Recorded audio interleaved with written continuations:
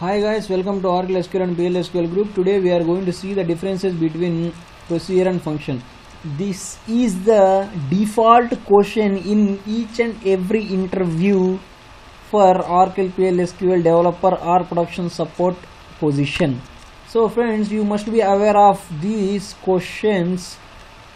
See, let us get started discussing about difference between procedure and function. So function must return a value whereas procedure may or may not return a value. That means function definitely will return a value because we will be having return type inside the function but we don't have any return type keywords inside the procedure.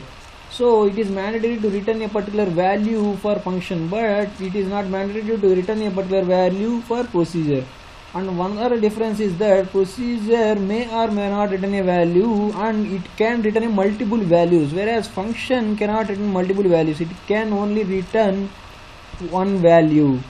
So and the other difference is that functions can be called from sql statements but procedures cannot be called from sql statements.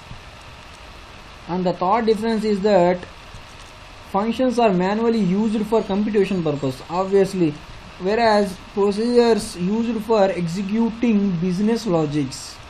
And the fourth difference is that functions does not have precompiled execution plan whereas procedures will have the precompiled execution plan. Sorry. So the next difference that is fifth one is that basically functions can only return one value. Yes as i discussed earlier functions can only return one value whereas pl sql procedures can return multiple values. And if you ask me the limit of that multiple values pl sql stored procedure can return maximum 1024 values.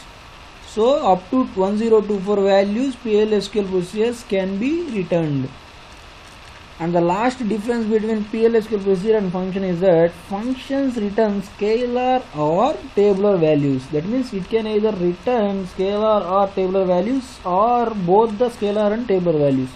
Whereas procedure always returns integer values by default.